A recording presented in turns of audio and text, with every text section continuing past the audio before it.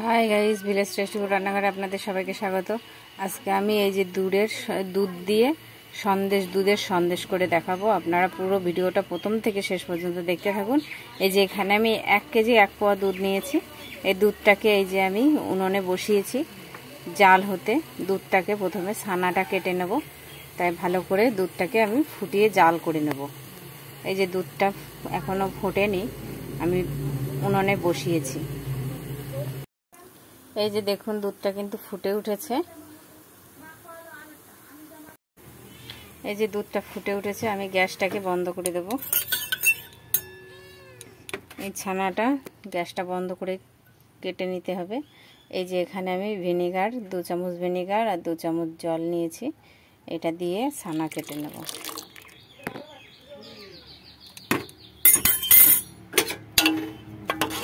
এটা শুধু আমি এইভাবে নাড়তে থাকব। দু মিনিট এটাকে নেড়ে এটাকে এইভাবে ছানা বানিয়ে নেব।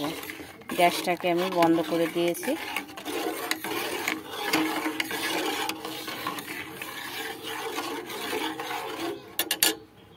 এই যে দেখুন, ছানাটা কিন্তু কেটে গেছে। দু মিনিটে আমি এই যে ছানাটা কাটিয়ে নিলাম। এবার এটা আমি ছেঁকে নেব। একটা ছাঁকনিতে রেখে ছেঁকে নেব জলটা। এই যে দেখুন, জলটা আমি এই যে সেকনিতে ছেঁকে নিয়েছি, এটা আমি অল্প অল্প জল দিয়ে এটাকে ধুয়ে নেব। ছানাটাকে যাতে ধুয়ে নিলে কি হবে, টক ভাবটা চলে যাবে। এইভাবে আমি জলটাকে ধুয়ে নেব, ধুয়ে আমি ছেঁকে নেব।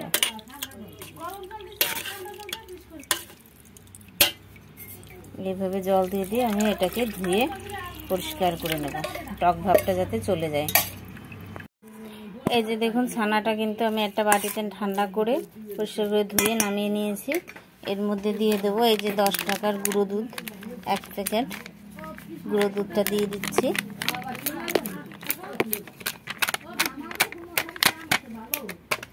এবার দিয়ে দেবো আমি তিন চামচের মতন এর মধ্যে চিনি। চিনিটা বেশি দেবো না, বেশি ক্যাটকেটে মিষ্টি বা ভালো লাগবে না, এই চামচের। তিন থেকে চার চামচ চিনি দেবো। দু চামচ। তিন চামচ। চার চামচ দিলাম। আপনারা চিনিটা কম বেশি করে নেবেন। এবার এটা আমি ভালো করে এর সাথে মাখিয়ে নেব।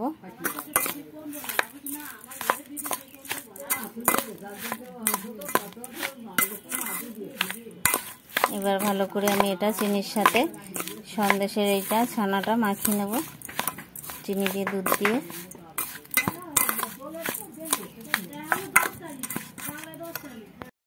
এই যে দেখুন মিক্স এই সে আমি সমস্ত চিনি দিয়ে দুধ দিয়ে মাখিয়ে নিয়েছি। এবার এটা আমি একটু মিক্সিতে দিয়ে ঘুরিয়ে নেব। এই যে দেখুন, আমি মিক্সিতে একটু এটা ঘুরিয়ে নিয়েছি। কত সুন্দর এটা পুরো গুই হয়ে গেছে মেল্ট হয়ে গেছে। কত সুন্দর গাঢ়, আমি কিন্তু এতে একটু জল দেইনি। এবার এর মধ্যে আমি দিয়ে দেবো কিছুটা এলাচের গুঁড়ো। এই যে দেখুন, আমি এখানে একটা, এই যে এরকম এরকম একটা বাক্স নিয়েছি। এবার এতে আমি এইটাকে ঢেলে দেব। এই যে এখানে একটা পেপার নিয়েছি, পেপারের উপরে দিয়ে দিয়েছি একটু ঘি ঘি মাখিয়ে নিয়েছি। এবার এই ছানাটা এতে ঢেলে দেবো।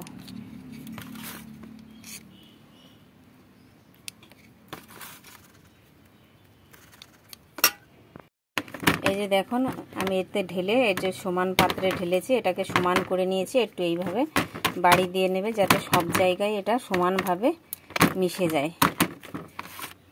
এবার এখানে আমি কিছুটা কেশর ছড়িয়ে দেব। এই যে এর উপর দিয়ে আমি কিছুটা করে কেশর ছড়িয়ে দেব।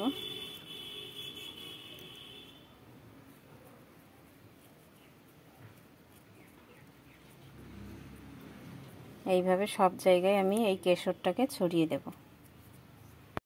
এই যে দেখুন, আমি কেশরটা সব জায়গায় ছড়িয়ে দিয়েছি। এটা এবার জলের ভাপে বসিয়ে দেব। তে জল দিয়ে একটা স্ট্যান্ড বসিয়ে নিয়েছি, জলটা ফুটে গেছে। এবার আমি এই পাত্রটা এখানে বসিয়ে দেবো এর উপরে। দিয়ে এবার এটা আমি একটা ঢাকনা দিয়ে ঢেকে দেব। এই যে এর উপরে আগে একটা আমি ঢাকনা বসিয়ে নিয়েছি যাতে ওর ঘেমে উপরে জলটা না পড়ে।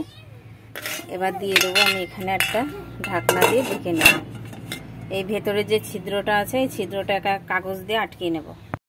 এই যে ছিদ্রটা আমি একটা কাগজ দিয়ে আটকে নিলাম।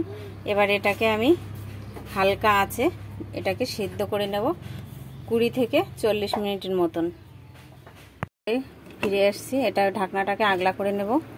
এই যে দেখুন, পুরো কিন্তু এটা দেখুন, ই হয়ে গেছে, পুরো মানে ভাপা হয়ে গেছে, এবার আমি এটা বন্ধ করে দিয়েছি গ্যাসটাকে। এটাকে এবার তুলে নেব। গরম খুব। এই যে এটা আমি নামিয়ে নিয়েছি। আর এটাকে এবার আমি ঠান্ডা করে নেব। ঠান্ডা করে হালকা নর্মাল ফ্রিজে আমি এটাকে রেখে দেবো। এটা ডিপ ফ্রিজে রাখা যাবে না। মানে হালকা ঠান্ডা থাকবে যে নর্মালে, সেখানে রেখে দেব। ঠান্ডা করে তারপরে। তাহলে আমি এটা ঠান্ডা করে ফ্রিজে রেখে তারপরে আপনাদেরকে দেখাচ্ছি। এই যে দেখুন, এটা কিন্তু আমি এই যে ফ্রিজ থেকে বের করে নিয়ে এসেছি। এবার এই কাগজটা ধরে তুলে নেব। এই যে এখানে আমি তিন ঘণ্টা মতন ফ্রিজে রেখে দিয়েছিলাম। দেখুন কত সুন্দর শক্ত হয়েছে। এবার এটা আমি পিস কাটবো। এখান থেকে তুলে নেব। এই যে দেখুন, আমি এই যে পিস পিস করে কেটে নিয়েছি। এই যে দেখুন কত সুন্দর হয়েছে। ছানার সন্দেশ, সন্দেশের মিষ্টি, এই যে দেখুন।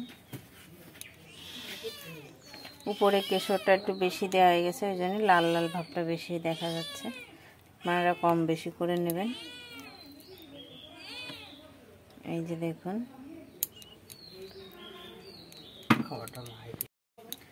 তাহলে এই যে সম্পূর্ণভাবে আমার তৈরি হয়ে গেছে ছানার সন্দেশ মিষ্টি। তাহলে আপনারাও কিন্তু এইভাবে একবার হলেও ট্রাই করে দেখবেন খেতে কিন্তু সত্যি খুবই ভালো লাগে। এটা যে কোনো অনুষ্ঠানে কিংবা ইসের দিনও, উপোসের দিনও করে আপনারা খেতে পারেন। এটা বাড়িতে অল্প সময়ে, অল্প খরচেই এটা তৈরি করা যায়। তাই খেতেও কিন্তু খুবই ভালো লাগে।